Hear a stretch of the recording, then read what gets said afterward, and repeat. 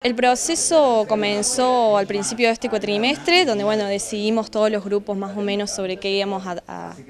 mostrar en los documentales. Y bueno, la verdad que fue un proceso arduo, sobre todo en relación, por ejemplo en mi grupo em, no sabíamos qué hacer al principio, qué mostrar del feminismo, entonces bueno, cambiamos tres veces el tema, entonces bueno, estuvimos ahí investigando un montón sobre lo que íbamos a mostrar, hasta bueno, al final decidimos hablar sobre los feminismos en la ciudad de Río Cuarto,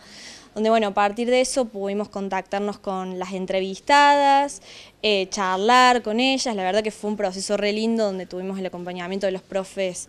en todo momento, donde bueno, ellos nos preguntaban todo el tiempo cómo íbamos, cómo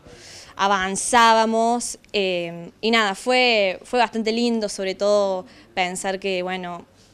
personalmente es la última materia de la carrera, entonces terminarlo con este trabajo eh, y, mostrarlo en el Leonardo Fabio también es, es re lindo y emocionante. Así que nada, estoy re contenta. Mucho trabajo para decidir a quiénes entrevistar, ubicarlos. sobre todo en un, un tema como el nuestro, que es sobre el feminismo, donde es tan amplio y qué mostrar,